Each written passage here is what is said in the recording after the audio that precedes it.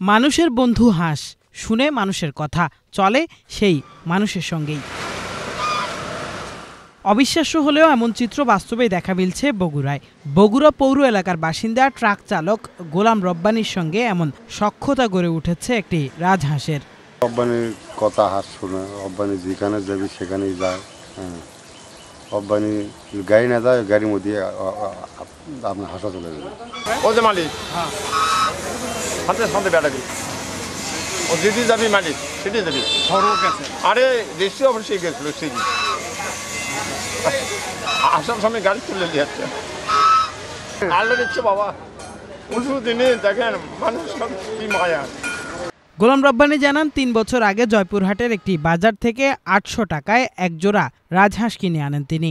কিছুদিন পর অসুস্থ হয়ে পুরুষ হাঁসটি মারা যায়। সেই থেকে স্ত্রী হাঁসটিকে বিশেষ যত্ন করে আসছেন গোলাম রব্বানি। ফলে তার ভক্ত হয়ে যায় হাঁসটি। প্রতিদিন রব্বানির সঙ্গেই বাড়ি থেকে বেরিয়ে যায় হাঁসটি। ঘুরে তার সঙ্গেই। আজকে তিন বছর ঘটনা যে আমার বাচ্চা যত বড় হ্যাঁ হ্যাঁ। অত বড়ই প্রায়। আচ্ছা। দুটো লিয়াচ্ছিলাম আটশো টাকাতে আচ্ছা। তা নিয়ে তো পরের দিনে একটা জব খাওয়া লাগল টাউরে ছিল খাওয়া দাওয়া বন্ধ হয়ে গেছিল। আচ্ছা। তো তারপরে আর জব করল একাই থাকে। এই একা থাকার এক বছর পর আর এক জোড়া দিয়ে পারি না এক বছরের মধ্যে। সে এক বুঝে সুঝে আনা উস্কান্দ করে। একা থাকতে চাই কোনো জন্তু। আচ্ছা। তখন উস্কান্দ করে বুঝে সুঝে করলাম যে দেখো হাতের অবস্থা খারাপ দেখতেই দেখতেইছ।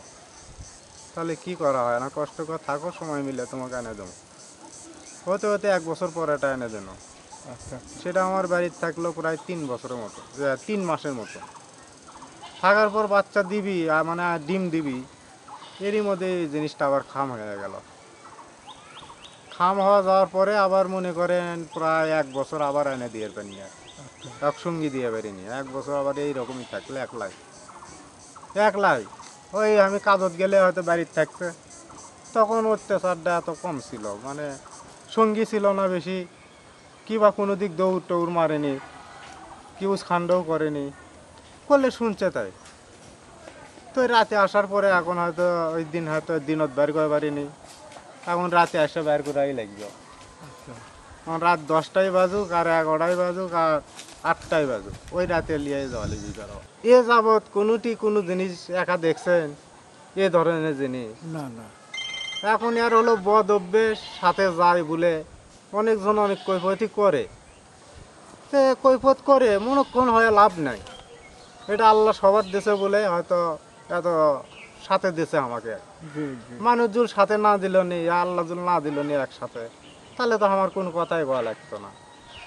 এখন এই জন্যে বিরক্তও কোনো জায়গা হওয়া যায় না। কিবা তা কাকু কোনো কথাও খাওয়া যায় না। একটি হাঁস কখনো মানুষের বন্ধু হতে পারে ভাবতেই অবাক। গোলাম রব্বানি নিজেই।